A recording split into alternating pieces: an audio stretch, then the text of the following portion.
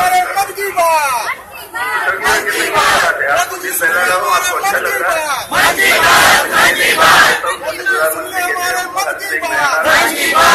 की बात नमस्कार दोस्तों मेरा नाम करताप सिंह ठाकुर पंगवाल आकाशवाणी शिमला में प्रस्तुता के रूप में काम करता हूँ। ये आकाशवाणी है। सुनने में जितना मीठा लगता है सच्चाइयाँ उतनी ही कड़वी है। आकाशवाणी में शोषण की हदें पार कर दी गई हैं। आकाशवाणी कह लो प्रसार भारती कह लो या फिर भारत सरकार। इस अजीबोगरी तंत्र में लोकतंत्र की धज्जियाँ उड़ाई जा रही है, लेकिन सब के सब अंधे बने हैं। प्रधानमंत्री यहाँ से अपने मन की बात करते हैं आकाशवाणी से, लेकिन सुनते किसी की भी नहीं। खासकर इस शोषित वर्ग की तो बिल्कुल भी नहीं, जिसकी ज़ुबान से आकाशवाणी का सारा दारोमदार चलता है। यही वास्तव में आकाशवाणी की रीढ़ की तरह काम करते हैं। आम जनमानस इन्हें कंपेयर अनाउंसर या फिर आज का पॉपुलर नाम रेडियो जॉकी के नाम से जानते हैं। मंत्री की बात करें तो एक मंत्री नीति बनाने की बात करते करते आज उपराष्ट्रपति बन गए हैं। एक मोहतरमा और मंत्री बनी, वह अपने अहम के चलते प्रसार भारती के साथ विवादों के चलते, चलती बनी। नए युवा मंत्री, उन्हें उद्घाटन और वीडियोबाजी से फुर्सत नहीं है।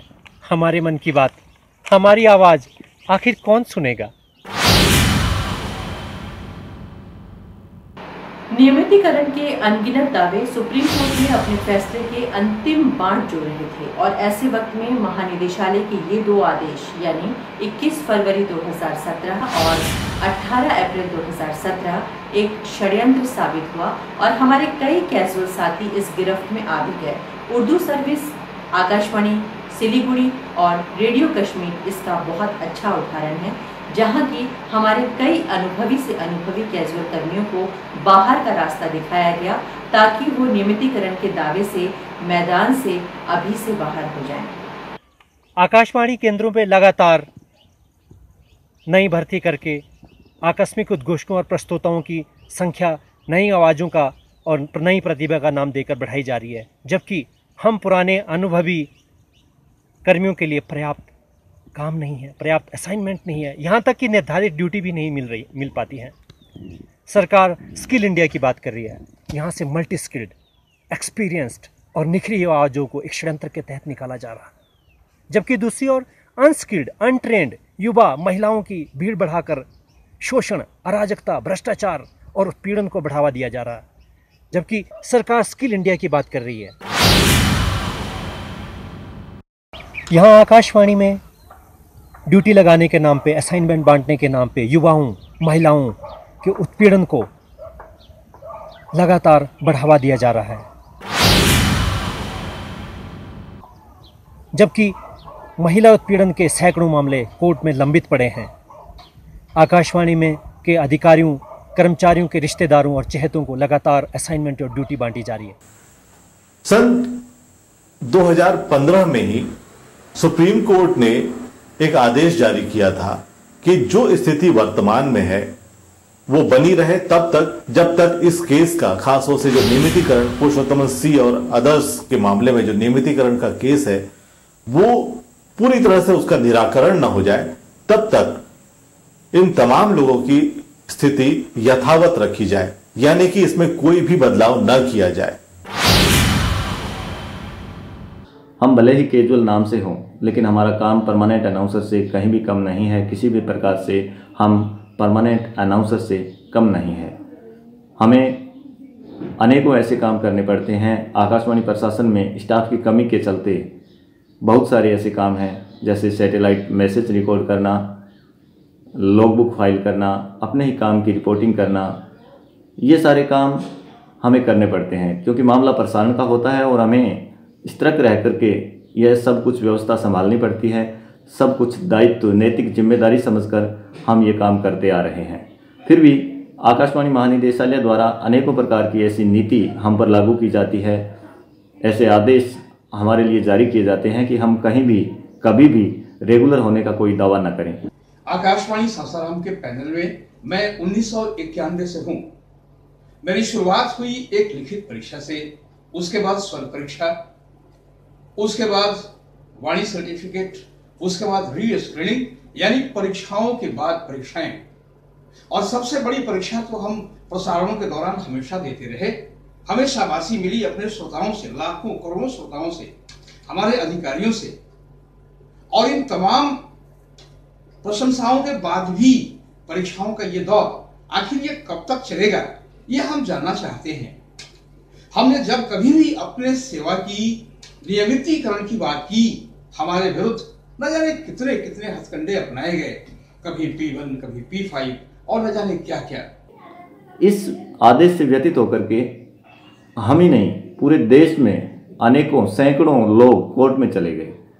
राजस्थान से सूरतगढ़, उदयपुर, बीकानेर, जयपुर, कोटा सवाई माधोपुर और चूरू केंद्र के कैजुअल्स कोर्ट में गए। वहाँ हमें स्टेटस को मिला। उसके बाद महानिदेशालय ने कॉन्ट्रैक्ट में परिवर्तन कर दिया। कॉन्ट्रैक्ट में परिवर्तन करने के बाद में विरोध किया गया तो कोटा जैसे आकाशवाणी केंद्र को बंद कर दिया गया। हमने जब भी हमारी आवाज़ उठाई, हमने अपने अधिकार के लिए मांग की, अपने हक के लिए लड़ाई करनी चाहिए तो हम पर जातियाँ की गई और पूरा केंद्र ही बंद कर दिया गया।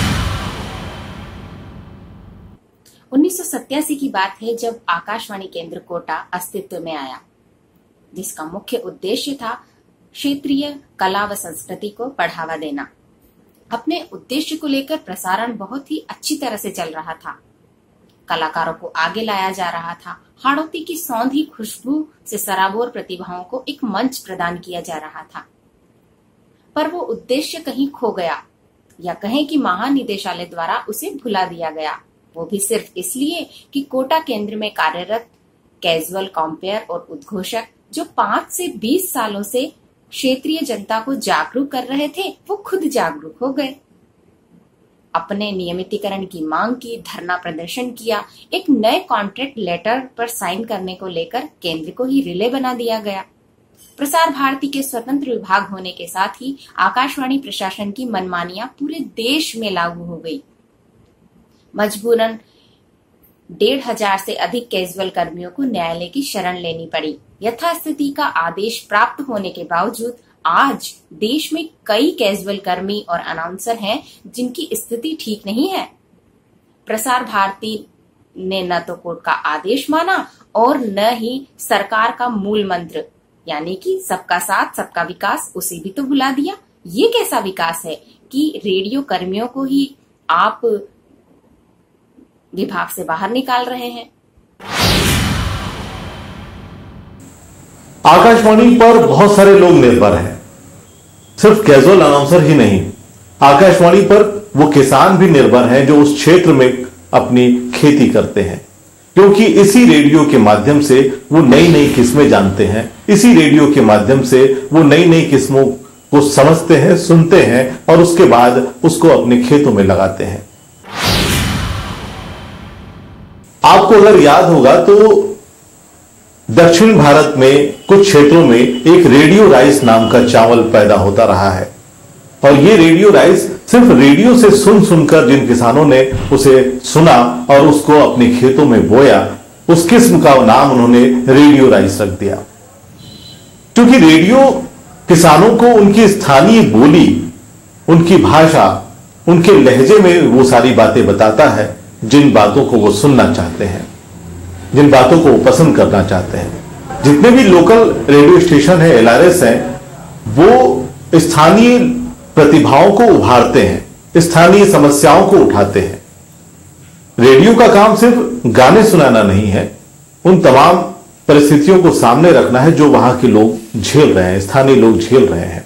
लेकिन जब आप किसी रेडियो स्टेशन को, लोकल रेडियो स्टेशन को आप रिले सेंटर में बदल देते हैं कि यानी कि आप सिर्फ़ दिल्ली और मुंबई के कार्यक्रमों को प्रसारित करते हैं, अनुप्रसारित करते हैं। ऐसे में स्थानीय लोगों के लिए उस रेडियो सेंटर का कोई महत्व नहीं रह जाता। ऐसे में करोड़ों की लागत से बनाया गया वो रेडियो महज एक रिले सेंटर बनकर रह जाता है। आकाशवाणी व प्रसार भारती के अधिकारियों की नाकामियाँ अब जग ज़ाहिर हो चुकी हैं। प्रसार भारती बनने के 21 साल बाद नींद खुलती है और जबरन एक ऐसे अनुबंध पत्र पर हस्ताक्षर करवाए जाते हैं। इस शर्त पे कि अगर हस्ताक्षर करेंगे तो असाइनमेंट्स मिलेंगी, नहीं तो जबरन केंद्रों को रिले सेंटर बना दिया जा रहा है। इन अधिकारियों को शायद ये नहीं मालूम कि आकाशवाणी का मकसद शुरुआत से यही रहा इन केंद्रों को बनाने का कि स्थानीय बोलियों, यहाँ की स्थानीय भाषा और लोगों की रुचियों के हिसाब से कार्यक्रम बनाए जाएँ। स्वयं प्रसार भारती के सीईओ ये कहते हैं लेकिन शायद इन अधिकारियों के करनी और कथनी में बहुत अंतर है। प्रसार भारती का जब से निर्माण हुआ है, तब से परमानेंट पोस्ट्स के लिए भर्ती हुई ही नहीं है। दो साल पहले एसएससी के थ्रू कुछ ट्रैक्स और पैक्स की भर्तियाँ हुई थी, लेकिन उसमें भी जो लोग सिलेक्ट होकर आए हैं, वो लोग एडमिनिस्ट्रेटिव ज़्यादा हैं, कला और संस्कृति से उनका कोई सरोकार नहीं है। अब इतने सालों से जब लगातार अधिकारी रिटायर हो रहे हैं स्टाफ की कमी होती जा रही है फिर भी देश भर के आकाशवाणी केंद्र बिना किसी ब्रेकडाउन के लगातार चल रहे हैं भला कैसे? इन कैजुअल अनाउंसर्स और कंपेयर्स के सहारे जो 15, 20, 25, 30, 30 सालों से लगातार आकाशवाणी के साथ जुड़े हुए हैं और वहाँ के कामों को गति प्रदान कर रहे हैं। कहने को तो इन लोगों को महीने में छः दिन की ड्यूटी मिलती है। लेकिन इतना काम, इतने असाइनमेंट इतना बोझ, इतना शोषण कि इनको छः दिन की ड्यूटी के एवज में 18 से 25 दिन तक काम करने जाना पड़ता है। हाँ अब आप कहेंगे, भला यहाँ पर काम क्या होता है?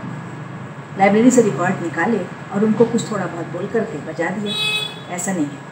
महीने भर किस समय कौन से प्रोग्राम जाने हैं, इसकी शेड्यूलिंग होती है। उन प्रोग्राम्स की ओबी रिकॉर्डिंग स्टूडियो रिकॉर्डिंग होती है। एडिटिंग की जाती है। प्रोग्राम बनाए जाते हैं, फ़ोन इन रिकॉर्डिंग होती है, विज्ञापन बनाए जाते हैं। बहुत सारे काम होते हैं। प्रोग्राम्स सीधे सीधे रेडियो पर नहीं प्रसारित हो जाते हैं। किस दिन, किस समय, किस अनाउंसर की ड्यूटी लगनी है, उसके लिए ड्यूटी चार्ट्स बनते हैं शेड्यूलिंग बहुत सारे काम होते हैं, उसके बाद जा कर के वो प्रोग्राम्स रेडियो तक पहुँचते हैं। और ये सारे काम जब स्टाफ की कमी है तो स्वाभाविक रूप से ये कैजल अनाउंसर्स और कंपेयर्स ही कर रहे हैं आकाशवाणी केंद्रों में। आकाशवाणी में एक पोस्ट होती है, ट्रांसमिशन एग्जीक्यूटिव या ड्यूटी ऑफिसर की। उसका काम होता है कि रेडियो का प्रसारण मशीनों से होकर सही रूप से रेडियो में जा रहा है कि नहीं, उसको सुनकर ट्रांजिस्टर पे पूरे के पूरे कार्यक्रम लिखे रजिस्टर में, जिसको लॉगिंग कहा जाता है, कब विज्ञापन गया, कब अनाउंसमेंट हुआ, कौन सा गाना बजा। लेकिन ड्यूटी ऑफिसर्स भी नहीं हैं बहुत सारे केंद्रों में। तो ये काम भी कैजुअल अनाउंसर्स को ऑन ड्यूटी करना पड़ता है। एक तरफ़ हम गाने बजाते हैं और दूसरी तरफ़ हम ये सारी लॉगिंग करते हैं। ये सुने बिना कि वो प्रोग्राम रेडियो पर पहुँच रहा है कि नहीं, हम स्टूडियो में बैठकर ये करते हैं। और साथ ही ऐसा करने के कारण हमारा ध्यान दो तरफ़ डाइवर्ट होता है और अपने कार्यक्रम की गुणवत्ता भी खराब करते हैं। कि इतने सारे आकाशवाणी केंद्रों के नेटवर्क को चलाने के लिए अधिकारियों से ज़्यादा नहीं तो अधिकारियों के बराबर तो कम से कम काम करते ही हैं। ये ट्रेंड और अनुभवी कैजुअल अनाउंसर्स और कंपेयर्स आकाशवाणी एक ऐसा नाम जिसको सुनते ही देश के हर नागरिक के हृदय में एक विशेष सम्मान का जागरण होता है। हो भी क्यों ना? क्योंकि जिस आकाशवाणी में देश के प्रधानमंत्री मन की बात कहते हो, वो निश्चित ही बहुत ही ऊँची ऊंचाइयों पर होगा, तभी वहाँ से हमारे प्रधानमंत्री लगातार हर महीने मन की बात कर रहे हैं, सिर्फ़ अपने मन की बात कर रहे हैं। ये विभाग जो पिछले कई वर्षों में अपनी महत्ता के कारण, गुणवत्ता के कारण देश विदेशों में माना जाता था, आज शायद यूँ कहें कि गर्त में जा रहा है कुछ विषयों को लेकर। विषय हैं चाहे विषय रहे हों, वो कैजुअल अनाउंसर्स के, चाहे आकाशवाणी के परमानेंट स्टाफ के, महिला उत्पीड़न के विषय रहे हों कैजुअल अनाउंसर्स के प्रति दुर्व्यवहार के रहे हों, उनका उत्पीड़न करने के रहे हों, आज इन सभी कारणों की वजह से शायद आकाशवाणी को एक शंका की दृष्टि से देखा जा रहा है। पिछले कुछ वर्षों में कुछ नासमझ अधिकारियों ने कुछ ऐसे कृत्य किए जिससे आकाशवाणी अधिकारियों और कैजुअल अनाउंसर्स के बीच में एक गहरी खाई खोद दी। ये गहरी खाई हम सबको कहाँ ले जाएगी? इसके विषय में कुछ नहीं कहा जा सकता, लेकिन फिर भी हम प्रयास करेंगे, आग्रह करेंगे हमारे देश के प्रधानमंत्री से, सूचना एवं प्रसारण मंत्री से, कि इस समस्या को, जो हमारे सामने कई वर्षों से मुँह बाय खड़ी है, उसका कुछ ना कुछ समाधान किया जाए। हमारे नियमितीकरण की तरफ़ ध्यान दिया जाए। हमें बार बार रीस्क्रीनिंग के नाम पर धमकाया ना जाए। हमारी ड्यूटीज़ को रेगुलर किया जाए। प्रधानमंत्री जी की स्किल इंडिया योजना के बारे में ये कहा जा रहा है कि कुछ दिन की ट्रेनिंग लेने के बाद व्यक्ति रोज़गार प्राप्त करने लायक हो जाएगा। लेकिन आकाशवाणी में पिछले 10, 15, 20, 25, 30, 30 साल पुराने ट्रेंड लोगों को बाहर निकालने का रास्ता दिखाया जा रहा है जबकि उनको नियमितीकरण का उपहार दिया जाना चाहिए। तत्कालीन सूचना प्रसारण मंत्री माननीय वेंकैया नायडू जी से जब आकस्मिक उद्घोषक और कंपेयर्स का दल मिलने के लिए गया तो उनका पहला वाक्य था कि आप लोग चालीस हज़ार लोग हैं हम आपको नियमित कैसे कर सकते हैं? लेकिन महानिदेशालय और प्रसार भारती ने यही संख्या सुप्रीम कोर्ट के एक केस में चार हज़ार के करीब बताई है। कहीं पर यह संख्या उन्होंने आठ हज़ार बताई है और किसी जगह पर छब्बीस सौ। पिछले लोकसभा सत्र के दौरान तत्कालीन सूचना और प्रसारण मंत्री श्रीमती स्मृति ईरानी जी ने लोकसभा के प्रश्न के जवाब में ये संख्या मात्र पंद्रह सौ बताई है। अब मंत्रालय, प्रसार भारती और महानिदेशालय यही नहीं जानता कि कितने लोग नियमितीकरण का दावा कर रहे हैं। कहाँ चालीस हज़ार? और कहाँ पंद्रह सौ? सुनने में आ रहा है कि इस विभाग का भी निजीकरण किया जा रहा है। ये विभाग जो भारत की धरोहर है, हिंदुस्तान की धरोहर है, उसे भी निजी हाथों में देकर हम किस बात की प्रतिष्ठा करना चाहते हैं, क्या जताना चाहते हैं, ये सोचने का विषय है। मेरी प्रार्थना है, सरकार से कृपया इस विभाग का निजीकरण होने से इसे बचाया जाए। वाराणसी, चूँकि प्रधानमंत्री का संसदीय क्षेत्र है और इसलिए यहाँ पर कोई गड़बड़ी नहीं होगी ऐसा लोगों को अंदेशा होता है, लेकिन इसके ठीक विपरीत यहाँ के अधिकारी मनमानी पर तुले हुए हैं। और हमने इस बाबत प्रधानमंत्री जनसंपर्क कार्यालय में भी चार पाँच बार शिकायत दर्ज की, लेकिन इसका भी उन्हें कोई डर नहीं है। अधिकारी अपनी मनमानी पर तुले हुए हैं। सबसे बड़ी बात कि इस परीक्षा में जो व्यक्ति फेल हैं उन्हें भी इन्होंने स्टूडियो में बुकिंग दे रखी है। और अगर ये फेल हुए व्यक्तियों को स्टूडियो में बुक कर रहे हैं तो ये बहुत बड़ा सवालिया निशान लगाता है इनकी परीक्षा लेने की प्रक्रिया पर। क्योंकि अगर ये फेल कर रहे हैं तो इसका मतलब कि पास और फेल में कोई अंतर नहीं है। और मीडिया से जुड़े सभी लोग ये जानते हैं कि स्टूडियो में सभी लोगों का प्रवेश नहीं होता है, सिर्फ़ अनाउंसर्स को प्रवेश की इजाज़त होती है। तो जो फेल है, उनको देने, ड्यूटी देने का मतलब सीधे तौर पे ये है कि इन्होंने परीक्षा को एक मखौल के रूप में लिया है। जो अधिकारी अपने कार्य के समय में, अपने कार्य करने के दौरान में काम नहीं ढंग से करते हैं और हमसे पूरा कार्य कराते हैं, उन्हीं अधिकारियों को रिटायरमेंट के बाद विभाग में पुनः पहुँचा दिया जा रहा है और जो लोग उनका कार्य करते रहे हैं शुरू से, उन्हें बाहर का रास्ता दिखाया जा रहा है। ये कहाँ का न्याय? है हम मीडिया के थ्रू अपनी आवाज़ को बुलंद करने की कोशिश कर रहे हैं कि हो सकता है हमारी आवाज़ सामान्य जनमानस तक पहुँचे, वो हमारी मुश्किलों को समझे और तब हमें न्याय मिलने की एक उम्मीद बनती है। इस आशा से हम अपनी बात आप तक पहुंचाते हैं। सबसे बड़ी बात, जब आकाशवाणी वाराणसी में इस तरह की स्थिति बनी हुई है, इस तरह की अमानवीय हरकतें की जा रही हैं कि हमें बाहर का रास्ता हमें आकाशवाणी में एंट्री नहीं दी जाती है। हम पर तरह तरह के हमारे खिलाफ लिख करके लेटर महानिदेशालय को भेजे जा रहे हैं। तो जब संसदीय क्षेत्र में, प्रधानमंत्री के संसदीय क्षेत्र में ये स्थिति है तो आप ये खुद स्वतः उम्मीद कर सकते हैं कि देश के अन्य केंद्रों पर क्या स्थिति है। हाँ कहीं कहीं के अधिकारी थोड़ा कोऑपरेटिव हैं, वो अपने कैजुअल अनाउंसर्स कंपेयर्स की समस्या को समझ रहे हैं, लेकिन जो केंद्र अपनी मनमानी पर तुले हुए हैं, उनको देखते हुए लगभग हर केंद्र के अधिकारी मनमानी पर उतर आए हैं और अफसरशाही इस समय अपने चरम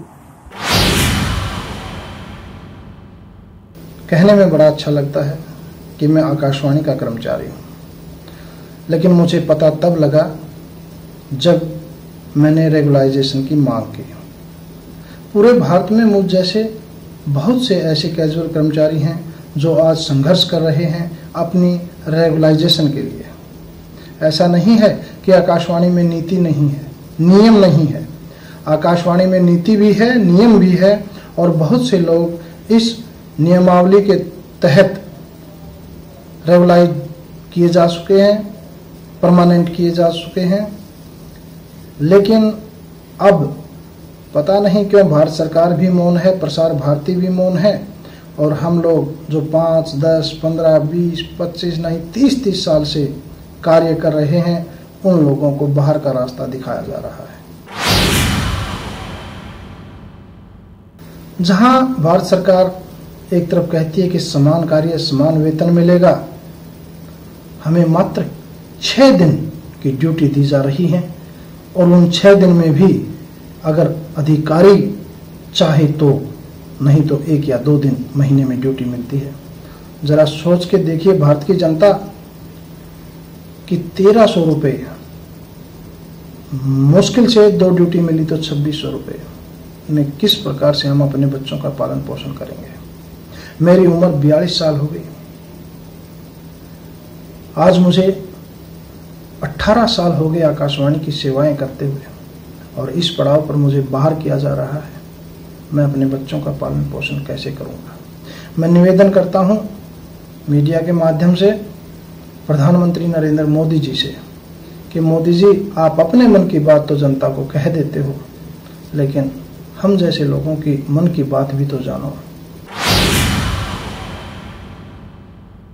आप इस देश के प्रशासक हो आप इस देश को चलाने वाले एक राजा हो और अगर राजा प्रजा के मन की बात नहीं जानेगा तो उस प्रजा का बुरा हाल होना निश्चित है।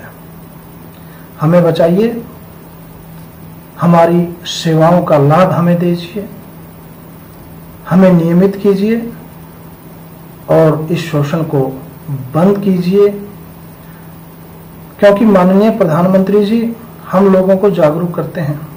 हम अपनी वाणी से लोगों में जागृति पैदा करते हैं। हम अपनी वाणी से लोगों को अपराध के विरुद्ध लड़ने के लिए संघर्ष रद्द करते हैं।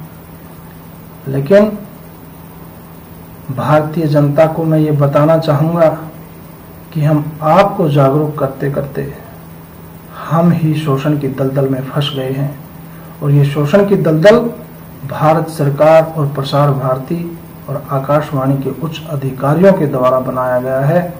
मेरा निवेदन है, भारतीय जनता से, भारत के प्रधानमंत्री से और सूचना एवं प्रसारण मंत्री से कि हमारा सहयोग करें, हमें नियमित करें और हमारे बच्चों के उज्जवल भविष्य की कामना करते हुए परमानेंट किया जाए। जब नारी सशक्तिकरण की बात होती है तो यह देखना पड़ता है आकाशवाणी केंद्रों में महिलाओं का न तो दैनिक प्रसारण और न ही संतोषजनक ड्यूटीज़ बीस वर्षों की हमारी सेवा और प्रतिमा एक या दो ड्यूटीज़ हमें सोचने को विवश करते हैं कि आखिर यह कैसा सशक्तिकरण है। आकाशवाणी का ऐसा प्रसारण हमें चैन से न तो जीने देगा और न ही मरने। मैं बताना चाहता हूँ कि 2009-2010 की जो पार्लियामेंट्री कमेटी गठित हुई थी, खास करके महिला सशक्तिकरण के लिए, उसकी सिफारिशों में स्पष्ट किया गया है कि कैजुअल आर्टिस्ट जो कि दूरदर्शन और आकाशवाणी में वर्षों से काम कर रहे हैं, उनका नियमितीकरण किसी एक पॉलिसी के तहत किया जाए। इसी तरह 2012 में जो रेडियो कश्मीर के संदर्भ में पार्लियामेंट्री कमेटी बनी थी, उसने भी कैजुअल कर्मियों की स्थिति पर गौर किया, उनकी मांगों को न्यायोचित माना, जाँच पड़ताल की और अपनी सिफारिश में लिखा कि ये मात्र छह दिन के वेतन में पूरे माह, यानी कि तीस दिन काम करते हैं, इनकी स्थिति दयनीय है। इन्हें जो है नियमितीकरण के तहत लाना चाहिए। इसके बाद उन्होंने ये भी कहा कि जो भी सोशल सिक्योरिटी स्कीम्स हैं, चाहे ईएसआई हो, चाहे ईपीएफ हो, इनका लाभ भी इन कैजुअल कर्मियों को मिलना चाहिए। हम इस सरकार से पूछना चाहते हैं कि वर्षों से संविधा पर आकाशवाणी में कार्यरत अनुभवी अनाउंसर्स, कंपेयर्स को नियमित करने, हाई कोर्ट के फैसले के खिलाफ सर्वोच्च न्यायालय क्यों गई आपकी सरकार? क्या आप नहीं चाहते कि हम हज़ारों कर्मियों के लाखों आश्रितों का जीवन सवरे? क्या आप नहीं चाहते कि हमारे रिश्तेदारों और मित्रों को सुकून मिले? हम आपसे इस प्रसारण के माध्यम से दो टूक फैसले चाहते हैं। आखिर हम कैजुअल कब तक? दो वर्षों तक, पाँच वर्षों तक, दस वर्षों तक, बीस वर्षों तक, पचास वर्षों तक, या कब तक? ये फैसला आपको करना होगा। हमारा सवाल है इस तंत्र से, सरकार से, कि क्या शोषण और महिला उत्पीड़न की और कोई परिभाषा है? क्या किसी और तरीके से महिला उत्पीड़न और शोषण को और अधिक बढ़ावा दिया जा सकता है? आखिर क्यों? ऐसा क्यों? प्रसार भारती बनने के 21 साल बाद भी क्यों इन उद्घोषकों और प्रस्तोताओं के लिए कोई स्थायी नीति क्यों नहीं है?